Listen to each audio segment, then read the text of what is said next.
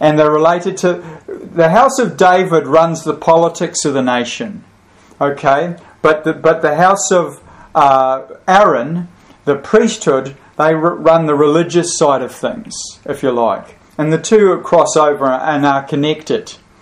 So when the house of David rises, so does the house, so does the priesthood. That's what's coming. And this is going to become happen when, at this time of earthquakes that we've been reading about. Okay, the earthquakes and the destruction that are coming upon the world, uh, they are to announce the raising up of Israel. Remember, we read about Joshua. Joshua uh, was buried in the place called Gaash, which means quake, shaking.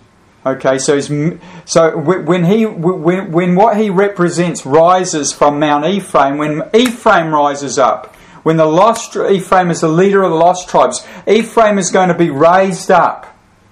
And the story, and, and when he does, Eleazar is also re, raised up. Now, I just want to go to John chapter uh, 11 and just read through it. Shall we read the whole lot? There's rather a lot. Maybe we'll just read the last so many. Let's just read the last little bit. In Isaiah, in, in John chapter 50, uh, 11, verse 54, and John, oh, let's just uh, go through here. In John 11:54, we have a very interesting, a very interesting uh, account. I'll just read it. Jesus therefore walked no more openly among the Jews, but went thence unto a country near the wilderness, into a city called Ephraim, and there continued with his disciples. Now, this is just after he's raised Lazarus. Now, this is the only place in the entire New Testament where it mentions the name Ephraim. This is significant. It's not just a detail. And it says Ephraim went to the wilderness. He went to the place near the wilderness. Mm. Whereas, if you read Ezekiel 34, God says to the house of Israel, I'm going to gather you to the wilderness, to the wilderness of the people. Mm. Now, he's going, now, when he's gathering the house of Israel, Ephraim's the leader of Israel, of the house of Israel. He's the leader of the ten tribes. Again, Ephraim's not from the Jews, he's not from the Judah, he's from the lost tribes. So, what this is a prophecy about the raising up of the lost tribes when and Jesus has just raised Lazarus, and Lazarus is going off telling the Jews all about the Messiah. Mm. And now Jesus, so Jesus is essentially, Yeshua is sending Eleazar, Lazarus, to the Jews. So he's raising the Kohanim, mm. and, and they're speaking to them. But, but then Jesus personally goes to his firstborn son, which is not Judah, it's Ephraim says, Ephraim is my firstborn. It says that in Scripture. So Yeshua is sending a servant to see the Judah, but he's sending, he's going personally to Ephraim to raise up his firstborn son. So this is happening when Israel has gone to the wilderness of the people, and this is and that's why it mentions here that Yeshua is going to a in verse fifty four a place near the wilderness. Okay, this is prophecy. And it's saying that when it's time to raise up the lost tribes, I'm going to raise up Eleazar, Lazarus first, the Kohanim, the priesthood. And at that same time, I'm going to, ra- I'm going to Ephraim. I'm going to Ephraim. So, so this is a blueprint for the future. And when is this going to happen? It's going to happen when these earthquakes are occurring. And because, because Eleazar was buried close to Joshua in a place called Gaash, which means earthquake. Okay, so this is prophecy. Hmm. And so, so this is a blueprint for how God's going to raise up the lost tribes, and it's Yeshua that's doing it. It's Yeshua, the resurrection, that's raising up Israel. Hmm. You see, for 2,000 years, Yeshua's been gathering in the nations, but he's been gathering in the lost tribes as well. And that was one of his purposes to, uh, to raise up the lost sheep, to bring in the lost sheep of the house of Judah? No, to bring in the lost sheep of the house of Israel. Okay? Now, uh, the church began with the Jews, and many Jews believed, but the majority of them didn't. And the leaders rejected Yeshua. Well, there's coming a time when they will receive him. But we're about to come into a time when the, God brings these massive earthquakes to bear. And this is at the same time that Damascus is being destroyed. Jacob is being made thin. The earth is being emptied out of its inhabitants. Israel is a bit like an olive tree that's cut down, where all the berries are lost except for a few. So we're coming into a time of severe judgment, and I, I, hope to somehow prepare some people with an understanding of this that this, the judgment that's coming in some ways is greater than the judgments in Revelation. In, in, the sense of the loss of life. The loss of life that's coming shortly is going to be massive. But the hope is great because the, the end result will be that God will start again with a remnant of the people from the nations and from Israel. Mm. Okay, then they'll corrupt themselves with the uh, in, in, by the time of the tribulation. So this is what's coming. Mm. So let's let's the, the, here, here is a picture of the tomb of Eleazar, what is believed to be the tomb of Eleazar, and it's in a place uh, near a town called Itamar. And Itamar was um, uh, they had some very bad times a, uh, a year or so back where uh, Palestinian uh, young Palestinian men went in there and slaughtered a family, uh, the Fogel family.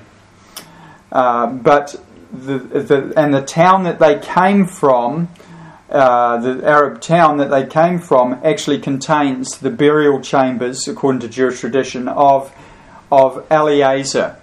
So this is the actual area when it said that uh, in Mount that there was that that Eleazar was buried in a place called uh, a, a, place near in Mount Ephraim. This is the place in this picture right here, and here's another picture of it during the day. And uh, these are young Jewish uh, uh, settlers, and they're just uh, and they're praying for the restoration of the Kohanim, the restoration of the Levitical priesthood. But unbeknown to them, the Levitical priesthood, the leader of them, Eleazar, is going to bear witness to the Mashiach, who's none other than Yeshua. Remember in the book of Acts that many priests turned to the Lord? Okay, but they were blind up until his death. But after he rose from the dead, uh, and uh, his uh, and uh, his his name and his word was preached, many of the priests turned to the Lord. Okay, so the priesthood is going to be a witness to the Lord, and and we're nearing the time for that to happen. So, in conclusion, Israel is rising through judgment, and these uh, and this judgment includes amazing, earth shaking, earth overturning, earth emptying earthquakes.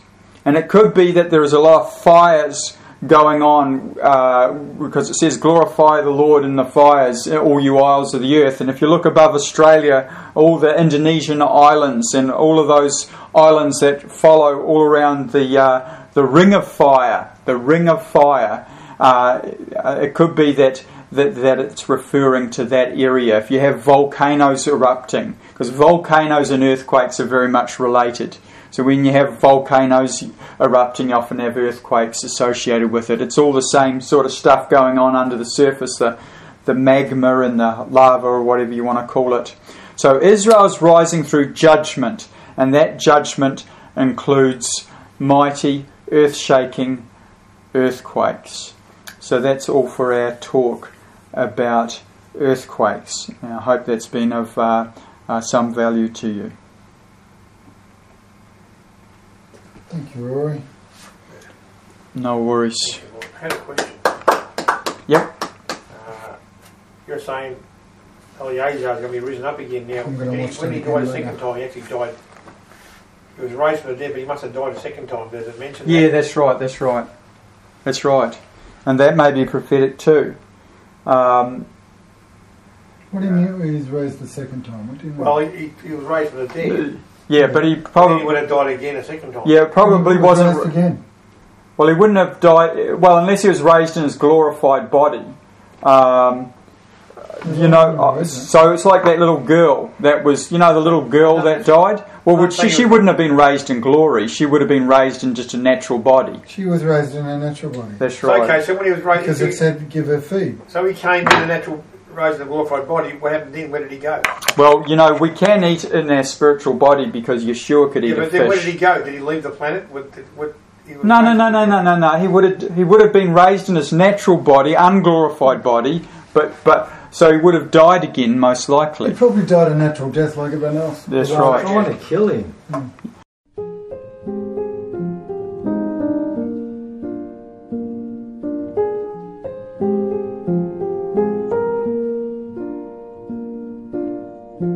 All around me are familiar faces, worn out places, worn out faces,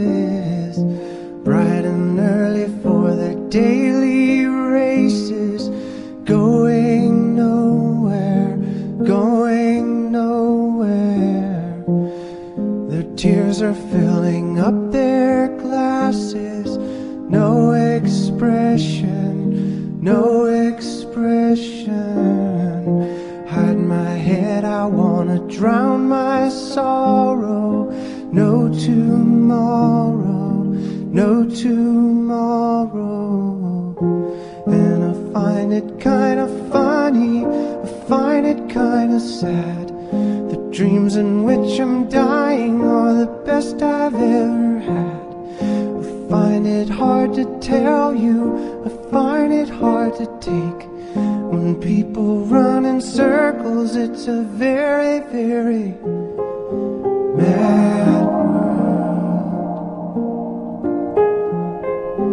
Mad world. Children waiting for the day they